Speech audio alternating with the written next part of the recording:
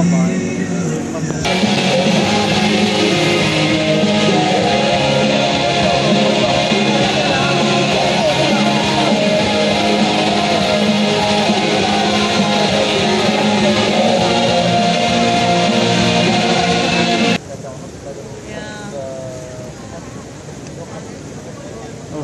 ఇక్కడ స్మెల్ వస్తుందని కూర్చోవట్లేదు ఎవరు